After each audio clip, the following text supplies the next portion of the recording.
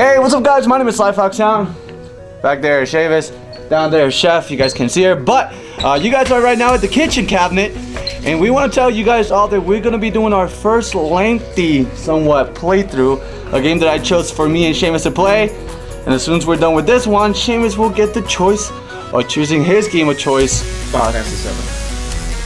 The longest RPG that we'll never be able to complete. I would do Final Fantasy VII. Tales of Symphonia Chronicles.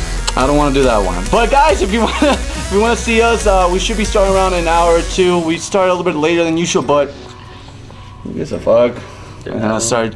It's the first time we've started late, I think. Hey, at least we're starting as opposed to everybody in this week. But yeah, uh, link in the description, and uh, we'll see you guys there. Take care. See ya. Bye.